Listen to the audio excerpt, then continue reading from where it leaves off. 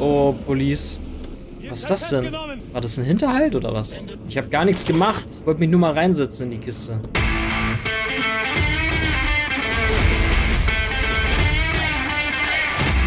So. Cyberpunk 2077. Ich habe richtig Bock. Guten Morgen, Night City. Das Ergebnis der gestrigen Leichenlotterie eine solide 30. Zehn davon aus Hellwood. Geht doch nichts über Gangkriege. Dazu ein toter Polizist. Also seid ihr alle sowas von im Arsch. Sowas nimmt das NCPD persönlich. Während in Santo Domingo erneut Stromausfall herrscht. Netrunner zerballern mal wieder wie üblich das Stromnetz. Weil. In Westbrook kratzt Traumateam unterdessen die Überreste von Cyberpsycho-Opfern vom Asphalt. Oh Gott. Und in Pacifica. Naja, Pacifica ist eben Pacifica.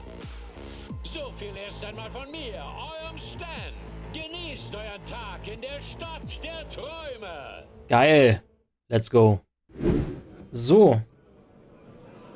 Ich hoffe, die hat jetzt was an. Nicht wie eben, Alter. Aber wie gesagt, ich habe da nichts. Ich kann da nichts machen. Oh, die hat Klamotten an, aber die sehen ja gebrochene Nase richten.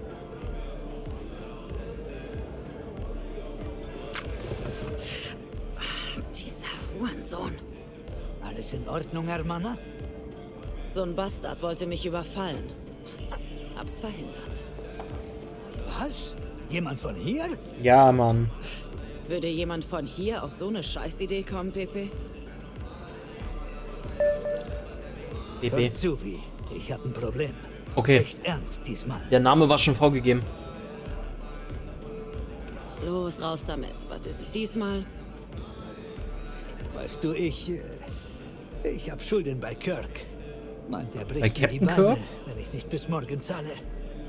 Und er meint das tot ernst. Hat die Kartelle auf seiner Seite. Du arbeitest mit Kirk? Jede Sau in Haywood weiß, dass das ein verdammter Halsabschneider ist. Mein Bruder ist aus dem Knast. Wollt ihm eine Party schmeißen. Ach, hab Scheiße gebaut, wie.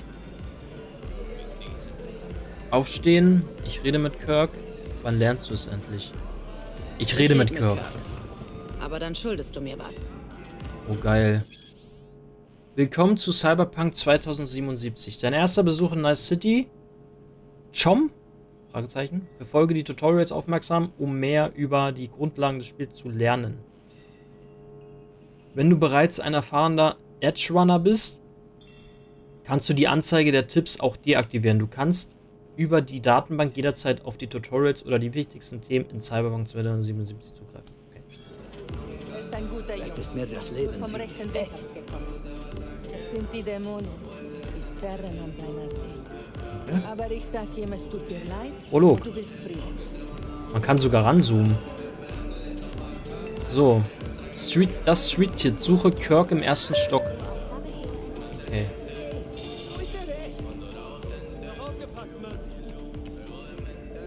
Das erste Stock hier, oder? Da hinten ist er. Ganz schön was los hier.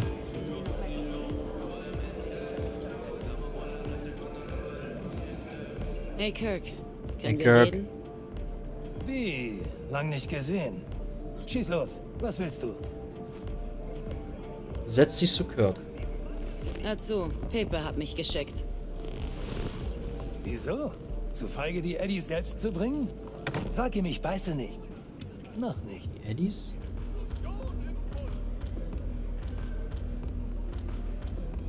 Hey, was ist dein Problem?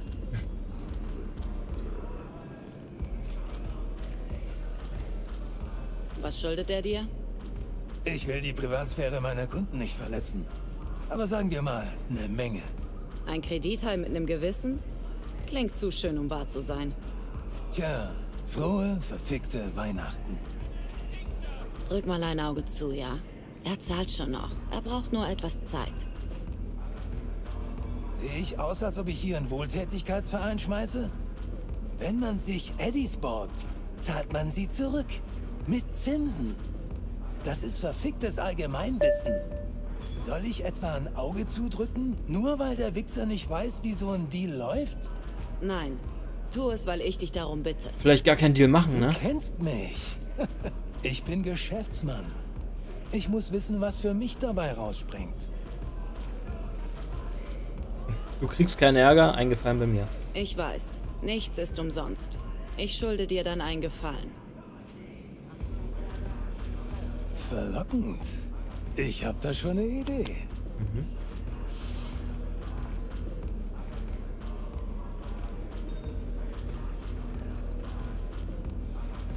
Was ist das? Sieh mal hier. Okay. Ein Auto. Megakarre auf der Titelseite. Gibt davon nur vier Stück in NC. Eine hat der Direktor von Rayfield. Titelseite, Ryan mitten die im Heft. Die dritte gehört einem Verleih. Und die vierte? Die wird meinem Klienten gehören. Natürlich erst nachdem du sie für mich klaust. Wenn ich das mache, sind Peppes Schulden vom Tisch? Klar, ich stehe zu meinem Wort. Weißt du doch. Ganz simpel. Du klaust mir den Rayfield und ich vergesse Pepes Schulden. Ich gebe dir sogar was vom Gewinn, weil ich so korrekt bin.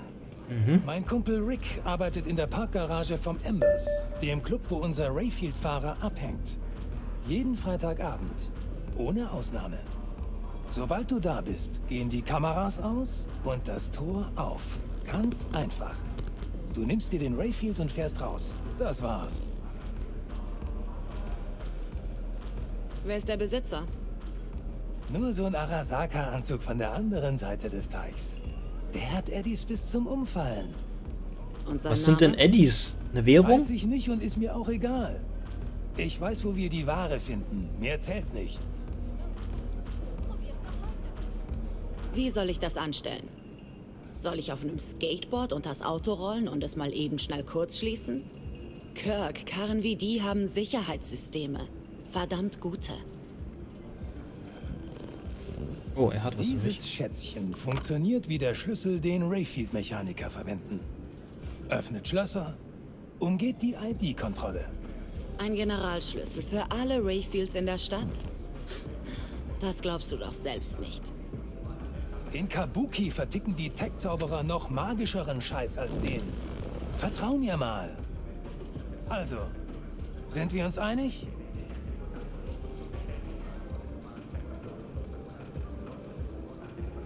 Wehe, du fixst mich, Kirk. Bleib cool, wie. Der Job wird sich für dich auszahlen. Na, dann hoffen Geh wir mal, dass er... Im Glen. Rick wartet in der Garage auf dich. Ihr zwei werdet euch blendend verstehen. Okay. Hals- und Beinbruch. Ja, wir bleiben chill. in Kontakt. Wir bleiben in Kontakt. So, dann gehen wir mal runter. Kann man die hier um, umhauen? Muss ich nochmal zu dem Barkeeper gehen? Wo war denn der? Nee, muss man nicht. Hier ist ganz schön was los, ne? Ganz schön belebt.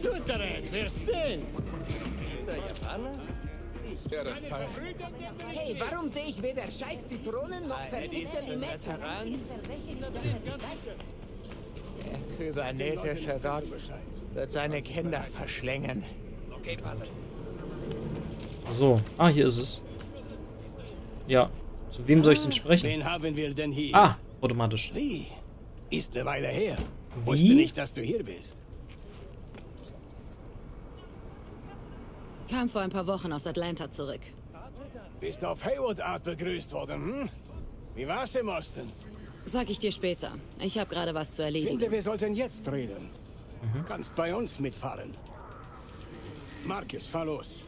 Muss ich doch sowieso, oder? Ich muss doch sowieso bei den... Hä?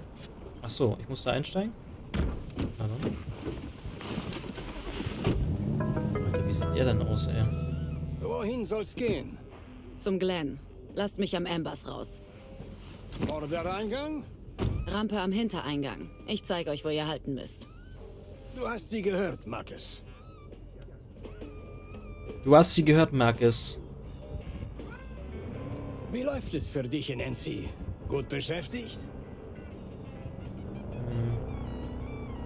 Ja, mache hier und da ein paar Jobs. Nichts Großes. Aber ich komme klar. Danke der Nachfrage. Also lief Atlanta nicht ganz so wie erhofft, hm?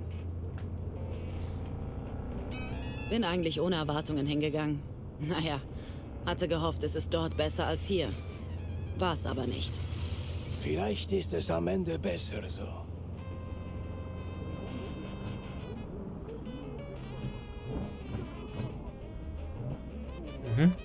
Das war's? Das war der Smalltalk.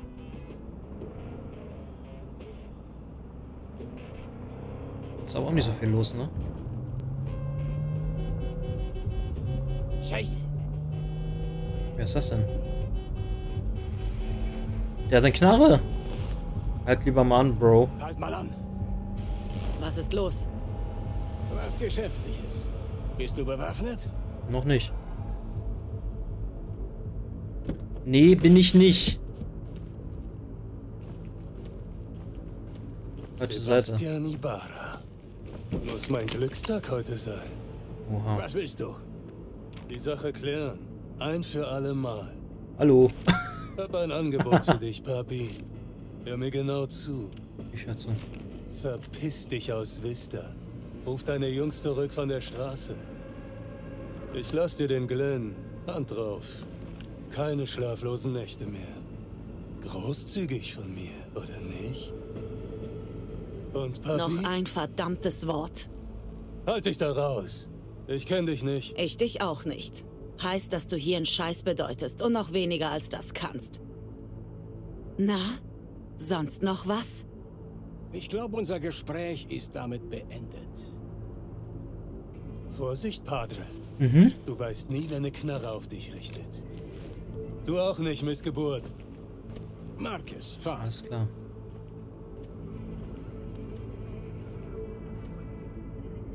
Was war das denn für einer?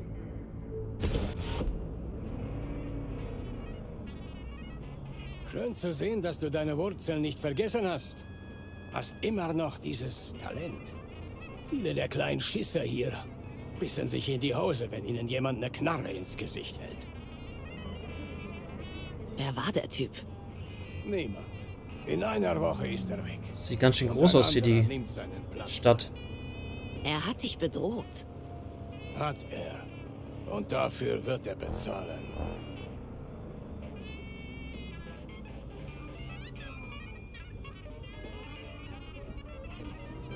Halt hier an. Gleich hier. Ich spring einfach runter. Hier, bevor du gehst. Was ist das? Deine Nummer? Könnte nützlich sein. Vielleicht können wir wieder zusammenarbeiten. Wie früher. Danke, Padre. Ich muss los. Geh Tschüssi. mit Gott. Okay. Aber ich habe keine Knarre, ne? Alter, wo bin ich? Wer bist du? Nimm den Aufzug zur Garage. Seid ihr hier für Gestalten? Guck mich nicht so an! Man kann mit ihnen reden? Wohnst du auch hier? Nee. Was kann man hier machen? Was kaufen oder was? Nicht mal Geld. So, wo ist denn der Aufzug zur Garage? Hier? Hier.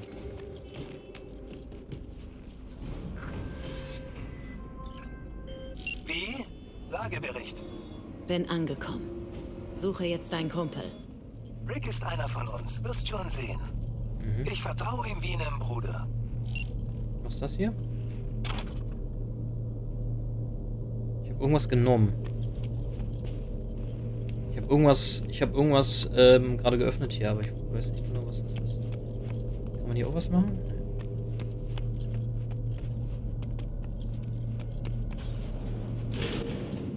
Okay. Und hier ist das Auto drin, oder wie? Ja? Kann ich dir irgendwie helfen? Rick. Das ist Rick. Bist du Rick? Yep. Schick Kirk dich. Yep. Die Kameras sind aus. Du hast 20 Minuten. 20 Minuten, um die Kiste zu finden, oder was? Ich glaube, das ist der hier, oder? Nee, welcher war denn das? Großer Auftritt, wie? Viel Glück. Mal sehen, ob diese Zaubertech was taugt. Mir Schloss. fehlt einfach der Glaube. Siehst du? Wir sind reich. Starte den Wagen und sag mir, wenn du unterwegs bist. Ich sag dir Alter. wohin. Okay. Scheint ein lockeres Ding zu werden. Was soll ich machen? Ich schon?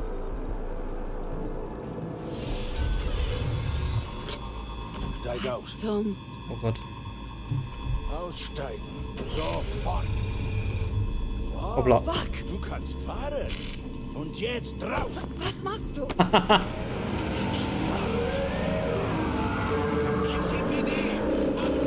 Oh, Police. Keine Bewegung. Was ist das denn? festgenommen. Bleibt, wo ihr seid! War das ein Hinterhalt oder was? Ende dahin, wo ich sie sehen kann. Schön langsam. Auf den Boden, ihr Pisser, und zwar sofort! Ich habe gar nichts gemacht. Ich wollte mich nur mal reinsetzen in die Kiste. Kommt jetzt da irgendjemand aus dem Staub? Mein alter Bekannter vom Block. Ich sehe, du hast nichts dazugelernt. Hey, Detective Stins. Stints! Haben wir nicht gesehen. Inspector Stins. Urin, Uran. Und der schießt ihn jetzt? Er schießt ihn jetzt oder was? Deine Visage kommt mir auch bekannt vor. Na los, wird bald. Ich warte. Ah ja? Deine mir aber nicht. Abgehauen nach Atlanta. Auf der Suche nach dem Glück. Die Suche war wohl erfolglos. Hab immer gesagt, all das Haywood-Gesocks ist gleich. Ihr werdet hier geboren, ihr lebt hier und hier sterbt ihr auch. Mhm. Hatte wohl recht damit. Zunge verschluckt? Du weißt einen Scheiß über mich. Die Wahrheit tut weh, was? Pass auf, was du sagst. Ich bin kein geduldiger Mann. Komm schon, Stins. Wenn du uns festnimmst, keulen wir uns die Hände wund bis zum Gerichtstermin. Und dann, wir kriegen maximal ein paar Monate. Scheiße, gibt dir nur noch Stehplätze im Mailbotte. Kommen sicher schneller raus. Das sind die Stehplätze? Ich hab Sie in Gewahrsam, Mr. Fujioka. Wir führen Sie sofort ab. Was ist denn das für einer? Von Mitteln. Ich habe keine Zeit für Zeugenaussagen und Ermittlungstheater. Oha. Äh, soll ich Sie gehen lassen, Sir? Schmeiß sie ins Meer. Gebrochene Beine und Bleigewichte, damit dieser Müll kein Treibgut wird. Spinnen die oder was? Gehört. Die können mich doch nicht, die können mich doch nicht ins Meer schmeißen und mir die Beine brechen. Oh. Die brechen mir jetzt schon die Beine. Ja, erst knocken sie mich aus. Fuck.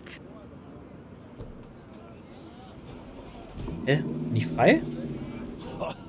Einen Moment lang sah das echt übel aus. Ich dachte nicht, dass wir da lebend rauskommen. Nein, Stins macht sowas nicht. Bist du dir da so sicher? Mhm. Er ist aus Haywood, so wie wir. Hast Anzüge genauso wie du und ich. Er hat getan, was sein musste. Wäre ich nicht aufgekreuzt, würdest du jetzt in der geilen Karre durch Night City cruisen. Ah, komm. Der Plan war von Anfang an scheiße. Selbst Schwarzmarktmagie aus Kabuki kann so einen Alarm nicht ausschalten. Hätte wissen sollen, dass ich die Bullen am Arsch hab. Gott hat's wohl nicht anders gewollt. Jackie Wells, Wie? Wie? ich kenne dich doch. Aus dem Coyote. Hm, da habe ich einen, einen Job bekommen. Hab den Auftrag für diesen Autoklau im Coyote bekommen. Von Kirk. Du arbeitest mit dieser Pestsäcke. Pepe schuldet ihm was und kann nicht zahlen. Wollte ihm helfen. Ha, Mann, frag mich echt, warum Pepe sich von diesem schmierigen Kirk was sagen lässt. Hab gehört, der hat die Kartelle im Rücken. Kartelle? Nee, nee. Ich kenne diese Kartelltypen und garantiere dir, keiner von denen hat je von Kirk gehört. Cabron muss lernen, was Anstand und Ehre in Haywood bedeuten. Komm, lass uns was essen gehen. Einfach so? Du hast mir gerade erst eine Knarre ins Gesicht gehalten. Die Frage ist ja, Die- die Frage ist ja, warum er das gemacht hat, ne? Mit der Knarre. Alles gut. Alles gut. Ja. Ich habe ein echt gutes Gefühl. Was meinst du? Uns beide. Zwischen uns stimmt die Chemie, weißt du? Und jetzt komm. Jetzt soll ich mit dem was essen gehen, oder wie? Okay. Dann mal los. Ich sterbe Dann mal vor los. Hunger.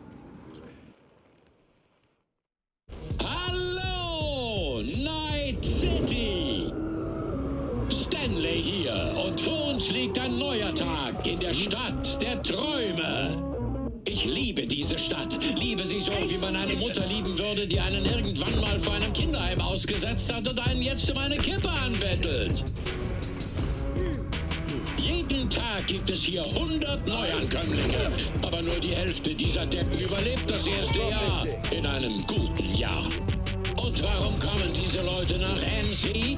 Weil sie Straßensamurais wie Morgan Blackhand und Wayland Boa Boa sein wollen. Je größer das Risiko, desto größer die Belohnung. Heißt es zumindest. Ewig ganz vorne dabei sein. Je schneller du lebst, desto schneller bist du am Ende. Wenn du nicht schon vorher eine Kugel abkriegst. Das ist jetzt so ein bisschen das, der, die Zusammenfassung aus den letzten Monaten, was sie so zusammen erlebt haben, oder wie? ihr, wo man die meisten Night City-Legenden findet? Auf dem Friedhof. Glücklicherweise ist es egal, anfängst. Es geht nur darum, welchen Weg du gehst. In Night City, der Stadt der Träume. Alright.